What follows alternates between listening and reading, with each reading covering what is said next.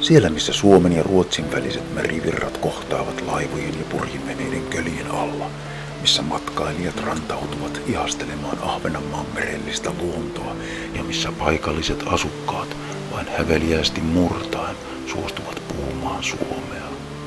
Siellä, lähellä laivojen sisääntuloväylää, lepää meren syvyyksissä auringonvalolta suojassa myös 30-luvulla uponnut kolmimastoparkki Plussa.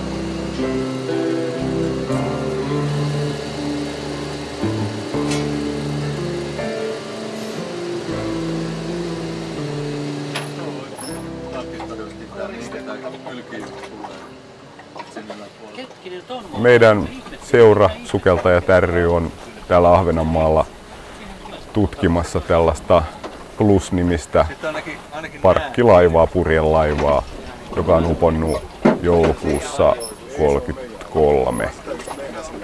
Ja tuota, syy siihen, että miksi me täällä tätä tutkimusta tehdään, niin on, on se, että tämä Plus on suosituin tai ainakin suosituimpia sukelluskohteita täällä Ahvenanmaalla ja sukeltajan määrät on hyvin isoja. Sen lisäksi tämä on hyvin lähellä Marjanhaminan sisääntuloväylää. Siinä menee isoja, isoja lauttoja sisään ja ulos ja siitä tulee virtauksia ja nyt nämä ahvenanmaalaiset museoviranomaiset on olleet kiinnostuneita siitä, että miten, tämä, miten nämä sukeltajat sekä, sekä tämä laivaliikenne niin vaikuttaa tämän hylyn kuntoon projektissa meillä on ollut noin 12-13 sukeltajaa, jotka on työskennelleet pareina ja siten, että yksi ryhmä, yksi ryhmä on ollut keskittynyt videokuvaukseen. Siinä on ollut kaksi ja joskus kolme sukeltajaa. Ja sitten muiden, muiden sukeltajaryhmien tehtävän kuva on ollut sellainen, että tämä on jaettu tämä hylky sellaisiin sopivan kokoisiin pätkiin, joita sitten, joita sitten kukin pari on kartottanut ja dokumentoinut näitä vaurioita ja, ja minkälaista vaurioa siellä on tapahtunut ja sen lisäksi sitten jossain määrin myös, myös tällaista, että kun, jos, jos siellä on jotain näistä esitiedoista poikkeavaa, että mitä meillä on rakennepiirustukset ollut käytössä ja museossa on nähty tämän pienoismalli ja plussan pienoismallia, jos siellä on jotain näistä poikkeavaa ollut, toisenlaisia rakenteita tai jotain muita, niin niitä on myös sitten kirjattu samalla, mutta pääasiassa on kartotettu tämän hylyn vaurio. Sitten itse tästä tutkimusprojektista, että minä ja oma parini, niin meillä on ollut sellainen osa tästä hylystä, kun ensimmäisen ruumaluukun takaa tämän keula, keulan puolella olevan hyttirakennelman takaseinään, niin siltä väliltä me on näitä vaurioita kirjattu. Se on vähän jäykkä. Vaikka kuinka voitelee, niin ne yleensä jää ne liukastusaineet tuonne mereen. Suomessa mielenkiintoista on omasta mielestäni nämä, tämä hylkysukellus. Me ei voida täällä niin kauheasti pröystäillä millään meren elävillä ja kaikki se puoli on hirveän vaatimatonta. Eli hylyt on tämä Itämeren anti suomalaisille sukeltajille ja, ja niitä on tullut kyllä koluttua tässä vuosien mittaan. Ja plus on yksi tämmöisistä tosi hyvistä, hyvistä kohteista, koska se on niin suhteellisen ehjä ja, ja tämä historia ja nyt tämä niin mahdollisuus yleensä päästä tänne nyt tällä leirillä kaikkien lupien kanssa oli ihan hyvä juttu.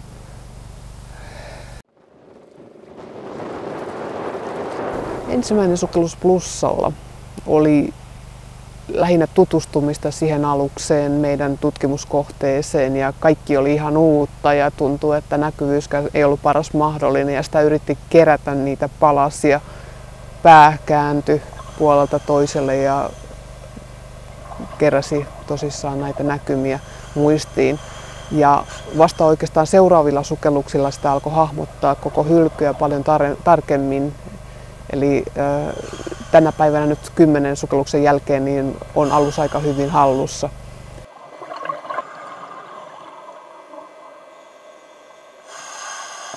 Se ryhmä, missä mä olin mukana, niin meidän tehtävä oli kuvata ja mittailla sitä hylkyä. Ja aloitettiin sieltä keulasta.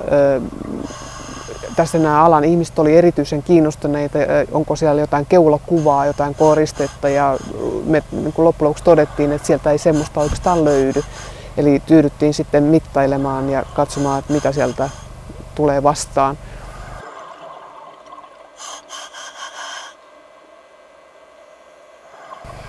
Itse plussan hylky, hylyn keula niin, äh, on aika syvällä, että se on niin kuin 30 ja plus metreissä siellä ei enää valoa paljon ole, että ollaan ihan pelkkien omien valaisten, valaisimien varassa. Ja, ja siinä on muutama repeämä siinä kyljessä ja semmoinen syvä pimeys, hiljaisuus kyllä lepää siinä ympärillä. Se on kyllä todellakin niin kuin hautautunut aika hyvin mutaan se keulapuoli, että siinä ei, siitä ei todellakaan kauhean pitkään siitä Putsbrökin alainen tila ennen kuin tulee tämä pohja vastaan.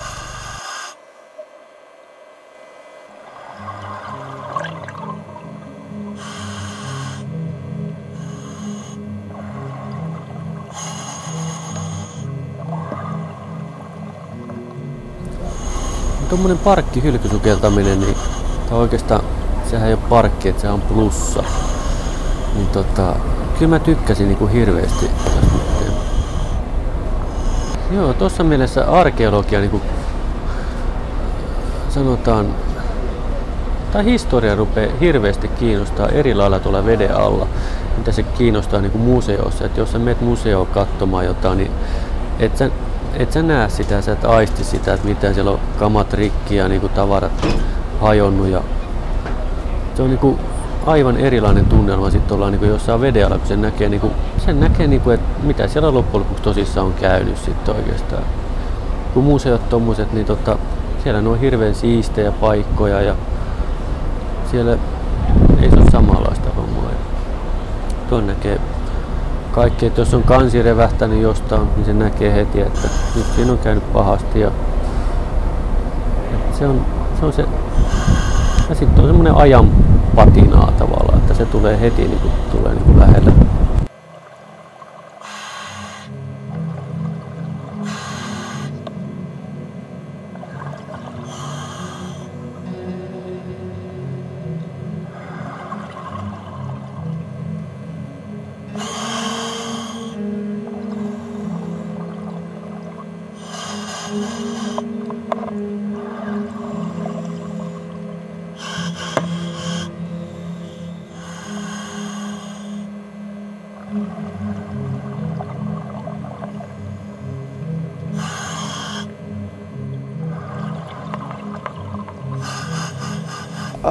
Tämä mittamiehen homma olikin aika jännää. Et ensin mulla oli semmoinen työväline, joka oli vähän turhan painava ja se vei mua ja siinä pöllyteltiin, mutta seuraavana päivänä asia korjaantui, kun saatiin sitten neutraali versio ja sitten homma toimikin niin kuin se piti toimia. Eli kun sieltä keulalta ei löytynyt mitään mahtavaa keulakuvaa, niin se mikä tässä itse hyllyssä mulle niin kuin eniten vaikutti on jotenkin tämä päämasto. Eli se on aika se on itse asiassa kun me mitattiin siitä rungon juurelta, niin semmoista metrin halka, tai metrin täällä mittainen siitä sivusta mitattuna. Ja sitten kun se kohoaa sinne korkeuteen sieltä 28 metristä aina jonnekin tonne 11 metrin, syvy, tai 11 metrin syvyyteen, niin sillä välillä kaikki mitä sieltä löytyy niin on, on mun mielestä visuaalisesti aika kaunista. Ja tämä tämmöinen taso, missä tähystäjä on ollut, niin siellä tällä hetkellä vinosti ja raaka kanssa roikkuen, niin vielä kuorutettuna simpukoilla ja kaikilla näillä veden elävillä, koska siihen asti riittää sitä valoa, niin ja kaikki nämä köydet, jotka sieltä roikkuu, niin visuaalisesti kaunis kokonaisuus, mistä mä itse henkilökohtaisesti varmaan nautin eniten tällä hyllyllä.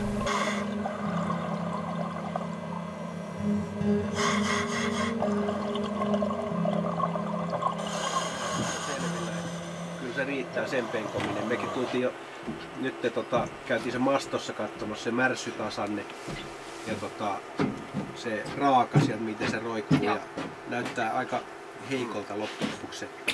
Itse asiassa se on se, missä ne maston nää köydet on kiinni, se mikä se on se semmoinen lankku tasanne siinä, tai semmoinen lankku kehä, kehä. Niin siitä on sahattu molemmilta puolilta, siis veden alla on sahattu ne päädyt pois. Toi, toisella puolella on se jalka siellä vielä pystyssä, mutta siitä on se paksu lankku, todennäköisesti tammea tai jotain mitä se nyt onkaan. Se on sahattu pois siitä. Siis se on ryöstetty. Samaten toiselta puolelta, toiselta puolelta on viety myös se pystytolppa sieltä päädystä.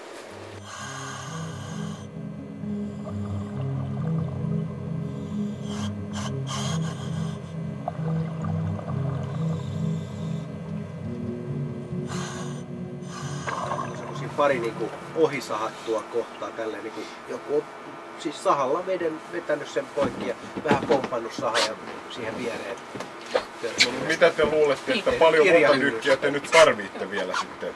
Ei Tarvitteko te yhtään? Joo, että Voitais me penkoa vähän sitä, se jäi nyt vielä vähän penkomatta se Pekan ja Mario-alue, sitä me ei oikein käyty läpi. Me jaa, eihän teillä mitään asiaa sinne ole. No, onhan meidän täytyy saada kokonaisuus. No meillä on se, niinku se aluksen, aluksen tota, se on, siinä ei ole mitään siinä kannella enää niinku oikeastaan mitä tarvitsisi käydä. Et nyt me löydettiin tosi tällä dyykillä löydettiin se etumasto sieltä, mikä pitää käydä läpi. Siinä yhdellä dyykillä ilmeisesti mitata se. Meidänkin tämä tutkimusalue niin on ollut noin 29-34 metrin syvyydessä ja itselläkään ei ole tänä vuonna ollut juurikaan paljon suke, sukellustoimintaa vielä, vielä aikaisempaa, että ne on oikeastaan tämän vuoden ensimmäisiä sukelluksia, niin toki, toki tämä typpi narkoosikin tekee oman tehtävänsä siinä. Ja sen mä oon ehkä itse kokenut kaikkein suurimmaksi, suurimmaksi vaikeudeksi tässä, että vaikka sinänsä syvyys ei vielä ole mikään kohtuuton, mutta just se, että kun tänä vuonna ei ole vielä vastaavissa syvyyksissä hirveän paljon ollut, niin se on vaikeuttanut kyllä tätä ihan silläkin lailla konkreettisesti, että näitä omia kirjoituksia, jos on jotain lukemia kirjoittanut, mitta, mitannut, mitannut jotain esineiden pituuksia muuta, muuta tai muuta tekstiä kirjoittanut siellä pohjalla, niin pinnalla sitten kun niitä pitäisi puhtaaksi kirjoittaa, niin välillä on ollut hyvinkin vaikeaa tulkita omia omia kirjoituksiaan, että mitähän mä oon tässä oikein tarkoittanut. Että, mutta että sinänsä olosuhteista ei ole mitään, mitään hirveän suuria vaikeuksia aiheutunut kyllä. Mutta tämä takapää on romahtanut kannesta läpi sillä lailla, että tämä vasen takakulma on suuri siis vasen, katon vasen takakulma on suurin piirtein samalla tasolla kuin tuo kansilaudotus, eli se on painunut ihan sinne sisään. Takapäässä tässä on